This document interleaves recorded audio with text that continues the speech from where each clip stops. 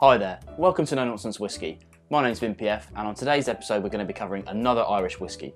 As of the time of release, this is the day after St Patrick's Day, so it seems a good opportunity to cover some more Irish whisky. I'm going to be doing a lot more Irish whisky this year because it's been kind of neglected on the channel. So I'm going to drop a playlist up here to all my other Irish whisky. So if you are interested in such things, then uh, go and check it out. Today we've got the Writer's Tears Copper Pot.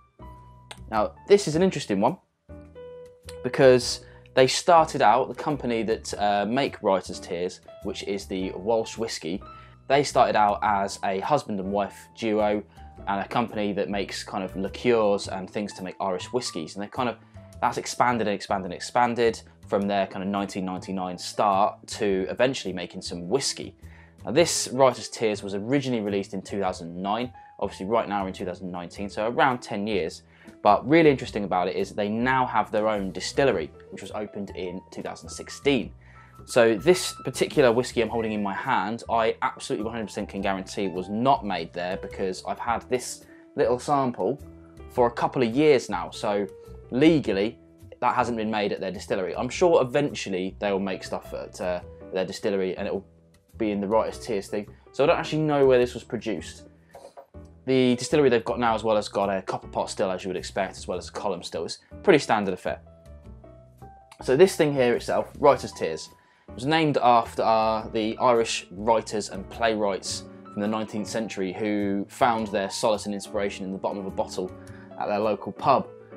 This actual whiskey itself is a vatting of pot still Irish whiskey, single pot still Irish whiskey, and single malt whiskey. Now, it's a bit of a, an interesting kind of term that one is because if you think about Scotch whiskey, now uh, most people watching this will be into their Scotch, and they'll know that most single malt whiskey is made in a pot still. So a, a batch process, chuck it all in, what comes out the other end, waste, etc.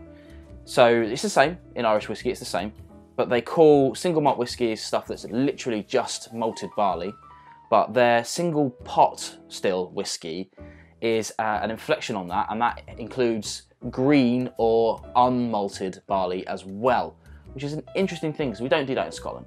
Don't do that in Scotland. They vatted that together, and it's created this kind of blend from within, I guess, a single distillery, but you can't really be sure. You can't really be sure. Well, let's stop talking about it and move on to the actual nose itself and see kind of what we've got going here. I should say as well, it's a 40 percenter. They do do higher ABVs, but they are kind of annual special releases at cask strength. There's not really one in between. So those things are very limited and sell out very quickly, or you have this for about 30 to 35 pounds in the UK. On the nose, it's a, a pretty typical smelling whiskey, to be honest. Nothing too, uh, nothing too stand out. It's it's appley, it's got honey, it's vanillas, it's ex-bourbon matured, so things you would expect. For me, I would wager in a blind tasting, I might try and say this was a Speyside.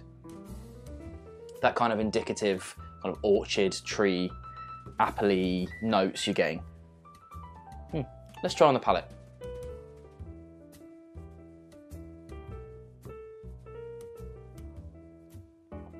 Mm.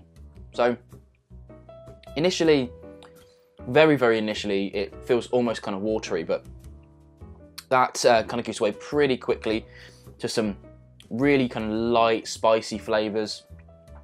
And it's got this kind of this weird flavor that took me a while to put my, my finger on, but in the end I decided on a kind of butterscotchy. So it's not really like, it's not toffee, it's not caramel, it's got that kind of hard candy butterscotch flavor to it. Very interesting, very interesting.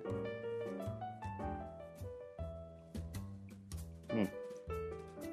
The finish is kind of medium long. It's not it's not huge, it's not huge, but it leaves this really nice kind of spicy, fruity flavour on the tongue.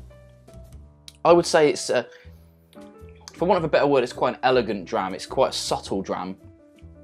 Extremely easy drinking. It's kind of what you would expect from a triple distilled Irish whiskey. You know, most Irish whiskies are in the same sort of category, just like Speysides are. You know, they're in that kind of, they, they, they taste very similar to each other around that area. And Irish whiskey is no exception. You know, when you triple distill, you're getting only the lightest flavours out. So really, the only thing that can make any difference to what your whiskey is is how you mature it or what you start to do with it a bit later on, and the uh, ABV, bottle strength, things like that. I would say this is a pretty typical Irish whiskey, very light, very subtle, uh, but that kind of makes it really nice, easy drinking thing. If you're into your kind of huge, big peat flavours, you're not going to find any of that here, so you may be a little bit disappointed. But if you're into one of those whiskies that's just kind of you know, it's not in your face, it's just nice and easy to drink, you know, maybe in the winter next to a fire or something like that. It's just just nice and casual, I think. It's probably a good way of saying it. Nice casual whiskey, maybe even an entry level whiskey for newcomers to whiskey in general. You know, if you're not sure what to give somebody, you need something really nice and light that isn't going to blow someone's head off. And I think Irish whiskey and this is a good place to start. All right. They started out as a kind of, um, well, so it's a pretty cool name, pretty cool name. I like it. Um, that kind of indicative sherry. Um, but um, I would say this is a pretty atypical